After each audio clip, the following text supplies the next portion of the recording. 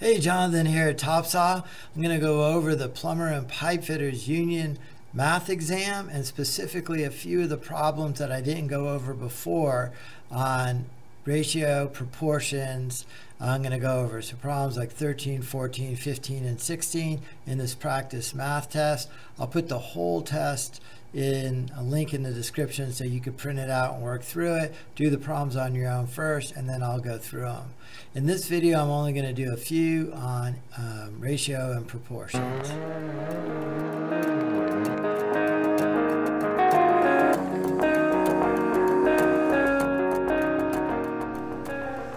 So this is a sample math test for the plumbers and steam fitters local 486 math exam. I, I, did make a video of going through this. I skipped a lot of the problems just so the video wouldn't be so long. And then I just got an email today from someone studying for the exam asking me to go over problems 14, 15, 16, and 17 in this exam. So these are the problems I'm going to go over in this video. Okay, so before I go over these problems right here, I just want to go over a little bit about ratio and proportion because all four of these problems are exactly the same. They're setting one ratio equal to another ratio, which is a proportion.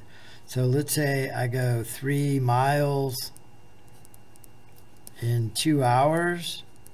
That's a ratio because it's one unit over another unit. It's a rate of speed, miles per hours. And then let me set that ratio to another ratio. Let's say I travel four hours and I want to know how many miles that is. So setting one ratio equal to another ratio is a proportion. There's a lot of ways you could solve this proportion, one of which is just to cross multiply. And in cross multiplying, you take the upper left and the lower right, you multiply those together to get 12, and then you set that equal to these two things multiplied together. Question mark times 2, question mark times 2. I want to get that question mark by itself. Sometimes you use an X, but it means that's what I'm looking for. I divide both sides by 2. These cancel, and then I have 12 over 2, which is 6. So if I go 3 miles in 2 hours, I go 6 miles in 4 hours. And again, my point here is to show you that what a proportion is, is when I have one ratio equal to another ratio. And the way I solve that is cross multiplying on that note of ratio and proportion, it really all goes back to fractions, right? I mean, really, this is a fraction 3 over 2 or 6 over 4. They're all equivalent fractions. Um, I've been working on this forever, and I came up with these uh, measurement toolbox cards. So I'll put a link to these in the description as well. Um, the way you get really good at fractions, ratio, proportions, and all of this is you just got to practice it a lot. The other thing you want to do too, not only for the union exam, but when you show up on the job for the first day, is when somebody calls out a measurement of 5 and 3 eighths, you don't start counting little lines on the tape. You got to really be good with fractional measurement. This is what we use in the US of A. Uh, and whether you like it or not, you just got to get good at it if you want to be good at your trade. These are red, white, and blue because it's a U.S. measurement system. The height of the box this way tells you what the denominator is going to be. So this one goes really low, so that's why it's a fourth. The width of the box tells you the numerator, 12 lines reduced to 3 quarters. So these cards are another way to build fluency, and I'll put a link to those if you're interested. So let's take a look at these problems now. We're going to set them up the exact same way as I did in that example one meter, so that tells me one unit right there, one meter is equal to 3.28 feet. How many feet, so that's what I don't know, so I'm going to say how many feet, I'm going to use X for how many. How many feet are there in 30 meters? And the reason why the meters are in the top, the numerator, is because the meters are in the top over here, feet are in the bottom over here, so feet are in the bottom over here.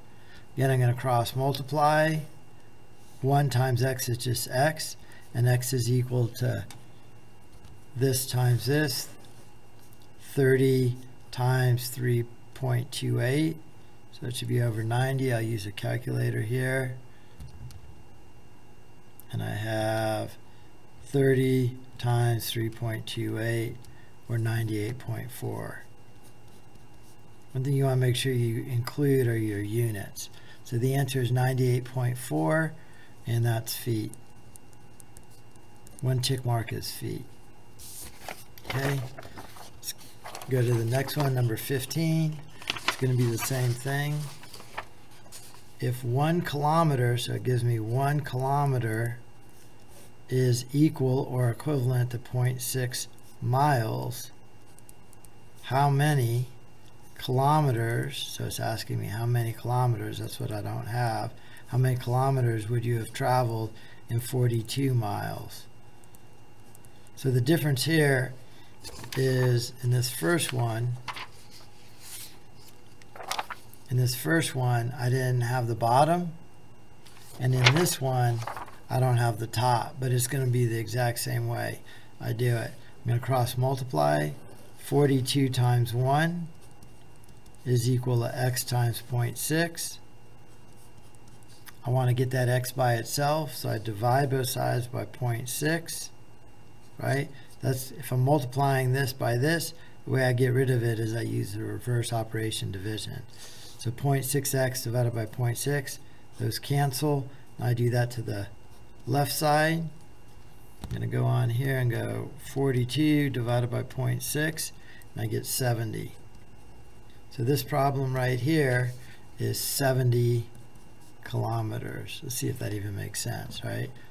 One kilometer is less than a mile.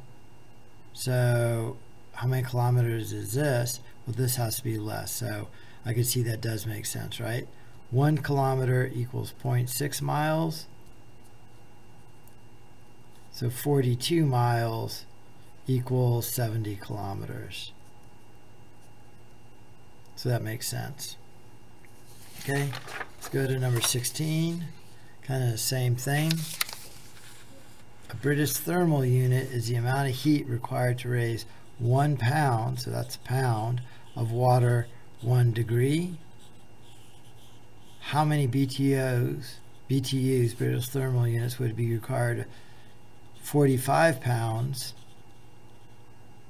or I guess it's LBS, 45 pounds, 18 degrees.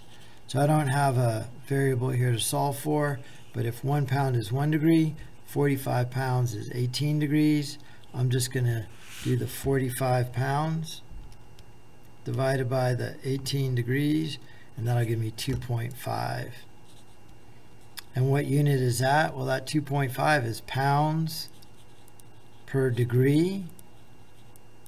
And we know that a British thermal unit is pounds per degree. So that is a BTU or a British thermal unit. The big takeaway is that I'm setting one ratio equal to another ratio and cross multiplying this to solve. So this one was 2.5 BTUs or British thermal units or pounds per degree. And then lastly, number 17 here, the column of water is 2.31 feet high and it exerts a pressure of one pound per square inch. So that square is saying square inch. So it's 2.31 feet is the equivalent pressure of one pound per square inch. How much pressure, so that's what we're looking for down here. Pressure is going to be in pounds per square inch. How much pressure will 46.2 feet exert? 46.2 feet.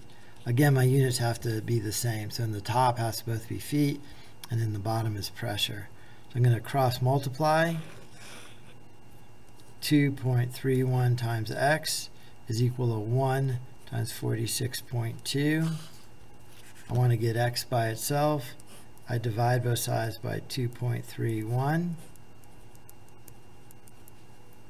Then right here, clear that, I have 46.2 divided by 2.31, and that gives me 20. So x is equal to 20, and that's going to be a pressure measurement. It is pounds per square inch. So this answer here is 20 pounds per square inch, and that's my pressure. So all, all of these are really very similar um, in that they're giving you one thing over another, which is a ratio. You take that ratio, set it equal to another ratio, and then you solve for the unknown. The key thing to remember is that your units in the top have to be the same, and the units in the bottom also have to be the same. I think I did do these in the other test as well, but if you didn't see that video, I'll just keep going through these. Um, these are more geometry, but they are similar as well, because a lot of geometry is really just ratios. In fact, this number pi, this number pi is a ratio. It's the ratio of circumference divided by diameter. So it's kind of the same thing as well. So in number 18 here, what is the circumference of the circle? It gives you the equation pi times diameter, and then it gives you a radius of 24 inches and a decimal approximation. So I just take these numbers and plug them in. Take that number and I'm going to plug it right in there. Radius is 24. Diameter goes all the way across. So for me to plug this into diameter, I got to double it. So 2 radiuses equal 1 diameter. So the circumference is that number, pi, 3.141, times the diameter, 48, and that 48 came from two of those. So my calculator, I'll do 3.141 times 48 to get a circumference of 150.76. 150.76. What is the area in the figure above? So what's the area of that circle? Area is pi. Well, that's given 3.141 times radius, that's given 24 to the power of 2, so squared. One important thing to note here is before you multiply these, you got to square this first. Order of operations is PEMDAS, and that stands for parentheses first, then exponents, which that is, then multiplication. So ex exponents come before multiplication, so I got to do that first. On my calculator, I'll go 24 there's my square button right there. Squared equals, so 24 times 24 is 576 times pi 3.141 and that gives me 1809.2 for my area. And lastly here, using the formula c squared, this thing squared, plus this squared, plus that squared, what is the length of side C in figure 2? Well, I'm looking for this. I'm using this formula. It's called the Pythagorean theorem. I got to take this measurement and square it. So I'm taking A, I'm squaring it, plus B, B is this measurement. I'm squaring it, a little 2 there. And that's going to be equal to this squared.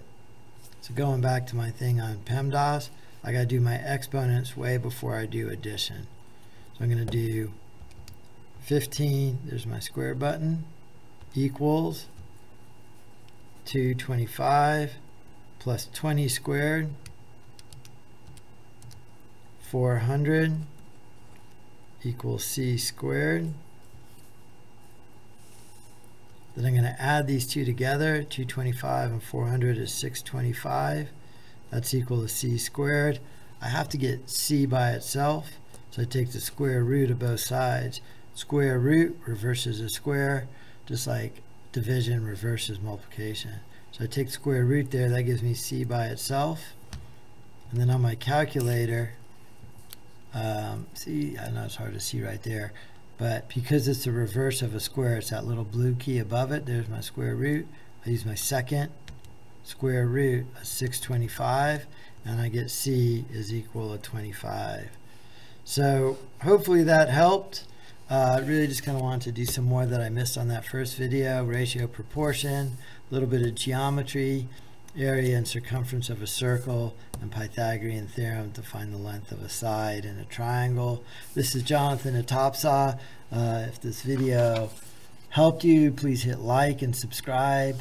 I teach high school math in SHOP. Um, so I use this math all the time. It's uh, it's good to get it down not only for the union exam, but just so you could solve more problems. All right. Well, thank you for watching. I appreciate appreciate your viewership.